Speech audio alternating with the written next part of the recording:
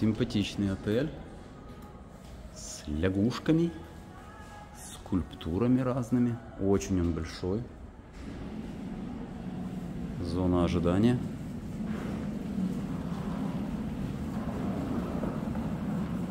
Здесь тоже зона ожидания такая приятная.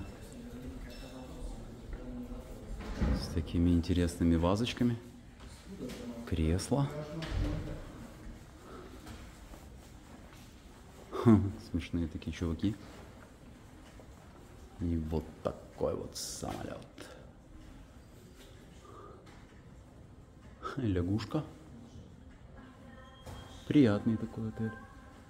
С кучей телевизоров. Нереально большой.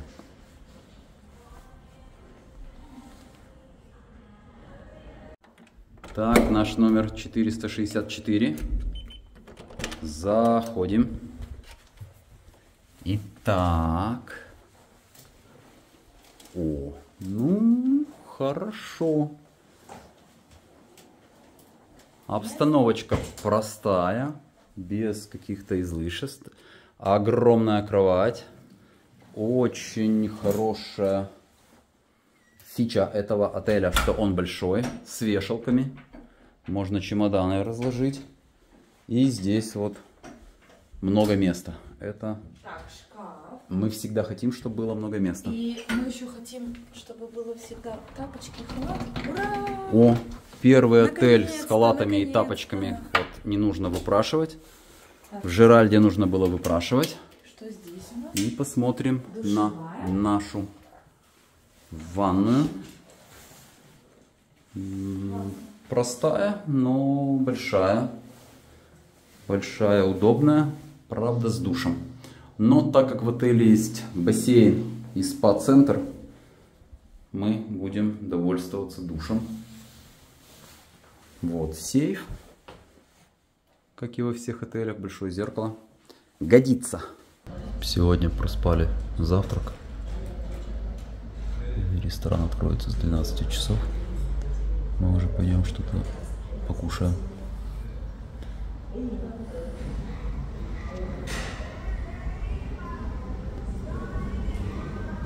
Фишка отеля лягушки и слоны. Хочется сказать пару слов по поводу нашего ужина э, в номере. В общем, очень странный рум-сервис в данном четырехзвездочном отеле. Я такого нигде не видел. То есть ты по телефону заказываешь рум-сервис, э, что-то покушать, но нужно спуститься на барную стойку и это все самому забрать. Поэтому сказать, что это рум-сервис, ну, немножко это с, как бы с натяжкой. Мы сегодня заказали, там были написаны котлеты, но принесли вот такой, вернее, получилась отбивная. Вот такие вот сосисочки э, с пюрешкой, э, салат Цезарь э, с курицей, паста макароны, паста, да, хлебушек, масло, сок из холодильника здесь, э, который был в номере. И общий счет получился 72,40. То есть, э, ну, ценник здесь довольно-таки высокий. Тут вода в автомате стоит э, 0,5, 3,50 евро, поэтому э, лучше все это покупать в супермаркете и запасаться водой. Все, будем ужинать. Я думаю, что лучше ходить в ресторан, если не успели в городе поесть, потому что рум-сервис совсем не рум-сервис.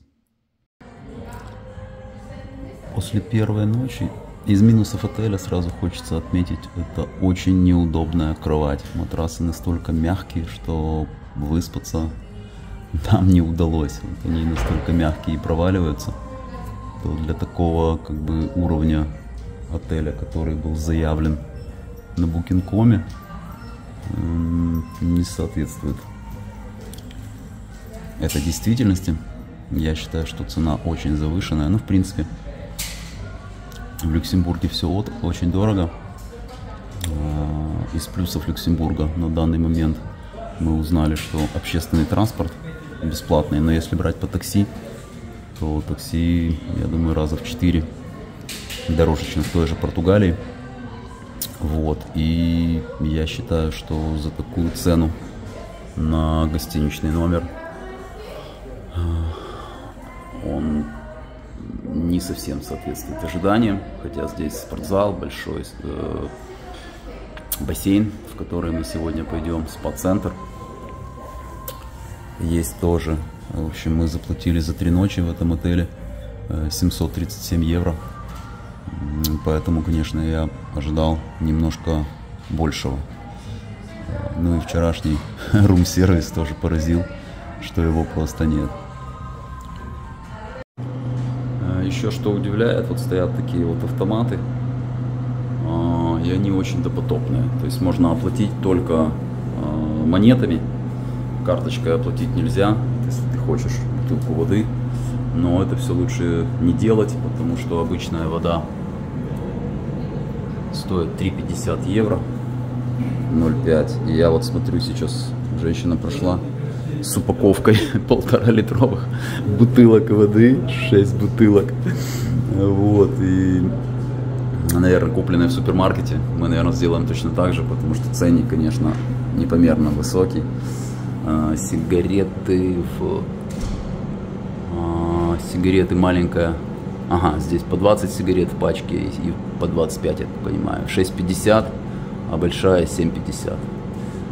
Шоколадки по 2 евро. В общем, недешево.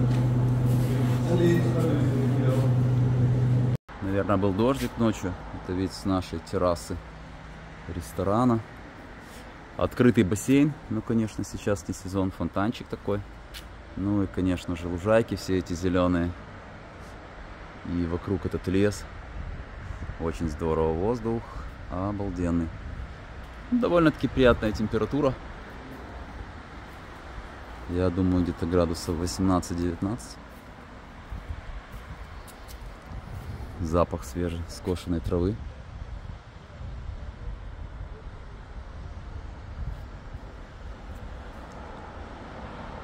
Если хочется отдохнуть от суеты, то можно приехать в этот отель.